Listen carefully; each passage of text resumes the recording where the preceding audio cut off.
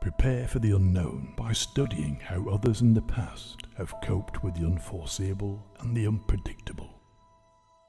Success depends on previous preparation, and without such preparation, there is sure to be failure. Anticipate the difficult by managing the easy. The beginning is the most important part of the work. Mastering others is strength. Mastering yourself is true power.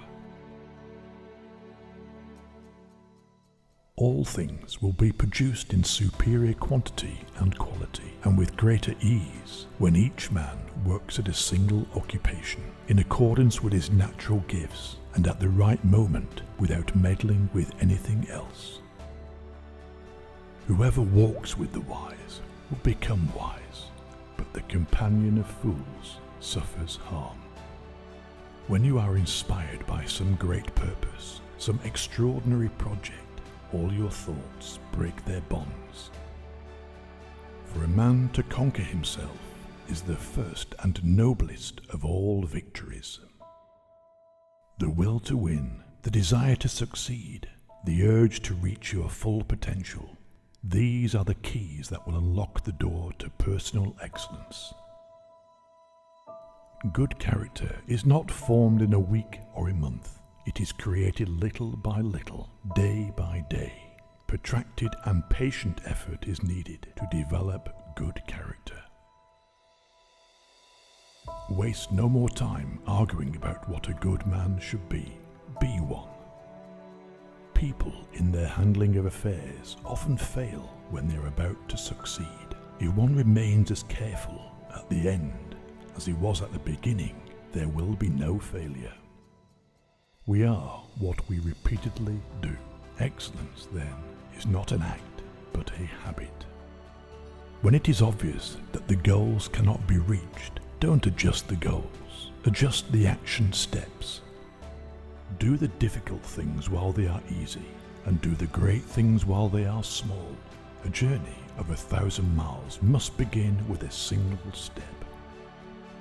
Our greatest glory is not in never failing, but in rising every time we fail. Know how to listen, and you will profit even from those who talk badly. Most powerful is he who has himself in his own power. Knowledge, if it does not determine action, is dead to us.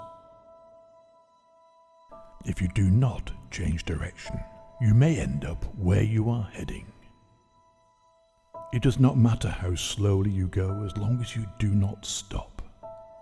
Luck is what happens when preparation meets opportunity.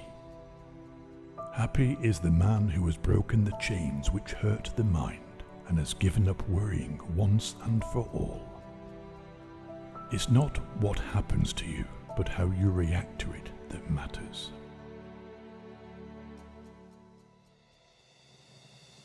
In the midst of chaos, there is also opportunity. The sage is ready to use all situations and doesn't waste anything. This is called embodying the light. Make the best use of what's in your power and take the rest as it happens.